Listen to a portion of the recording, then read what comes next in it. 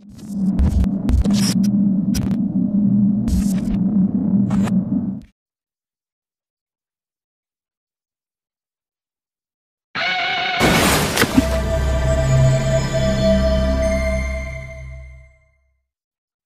は絶対に見つけ出す。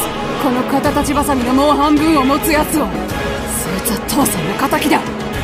てめえが知ってることを全部話してもらう。力ずくでもな！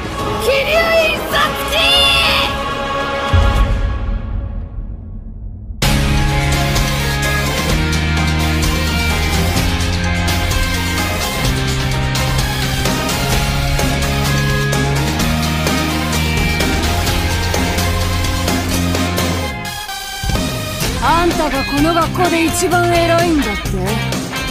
だったら的井竜子と一角なるほど。貴様的井一心の娘か。君いらねえ。ぶっ潰してやるよ。お前の五体操に並べてる野望やら能書きやら全部。カムイとは生命繊維とは何か。その全ての謎は私が知っている。お前と違って私は一人じゃない。私と鮮血の二人で戦ってるんだ。お前なんかに負けねえよキルラキルザ・ゲームイフ2019年発売